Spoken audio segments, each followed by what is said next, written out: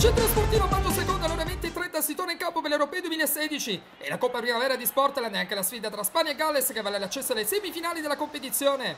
Si fionda in avanti la Spagna in apertura prima sul calcio da fermo, poco dopo contestando un possibile tocco con un braccio da parte di Pedatella. Al minuto 12 cambia la partita ma Senzani va via sulla tre quarti insieme nel panico tra i difensori con un tocco beffardo di sinistro sigla quella che è la rete del vantaggio. Sul finire della prima frazione botta risposta sul calcio di punizione, ma più vicina alla Spagna che sfiora l'1-1 col colpo di testa sul quale Mastroianni decide di non intervenire. Ad inizio ripresa Domenico Tedesco scalda i guanti del number one.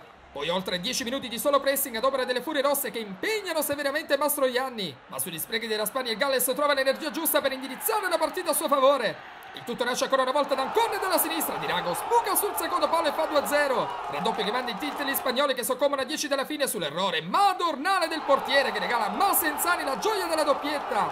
Number one che si ripete sull'ennesimo corner della gara è complice anche lo sfortunato flipper. Manda il Galles sul 4-0. La firma in T tedesco. Galles che vince e convince stacca il Tibet. Semifinale.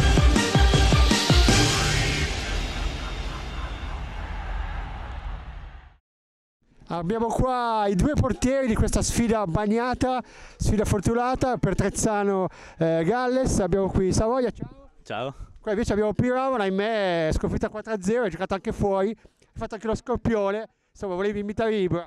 Sì, purtroppo lo scorpione l'ho fatto a centrocampo. È andata male sta partita, abbiamo avuto parecchie defezioni all'ultimo secondo e non ci siamo presentati al meglio.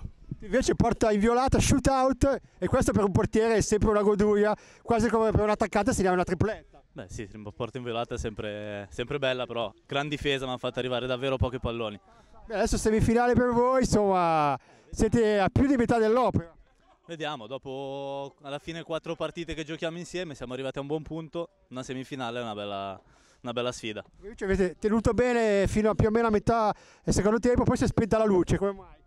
Eh, onestamente il nostro portiere, che non ero io, ha fatto tre cappelle, una peggio dell'altra e ha chiuso la partita a favore loro. Eravamo già messi male per parecchi infortuni anche durante la partita. Ah, è andata così, ci rivediamo già lunedì con la Summer Cup. Bene, allora invece a voi appuntamento con la semifinale per Tezzano Galles, complimenti.